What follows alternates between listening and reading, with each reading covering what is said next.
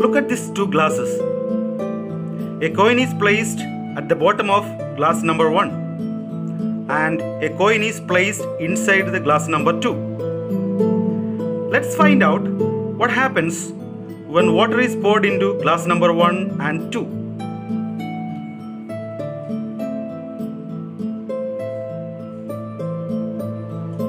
So we are pouring water into glass number 1. Yeah.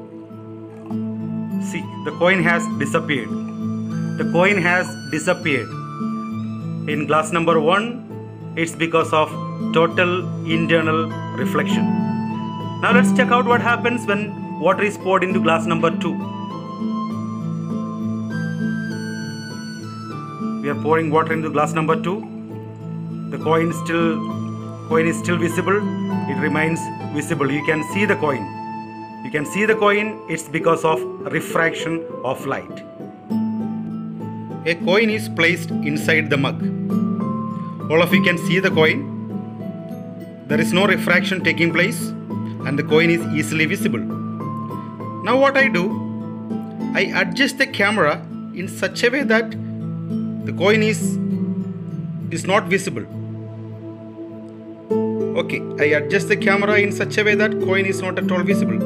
Now let's check out what, what happens when water is poured into the cup.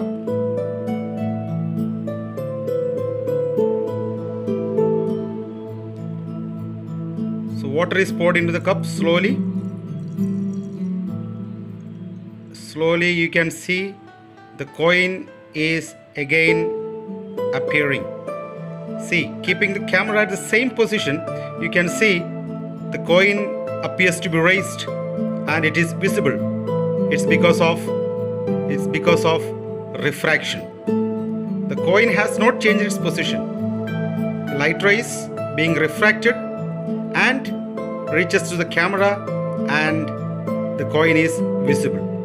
It's the magic of refraction because of lateral displacement.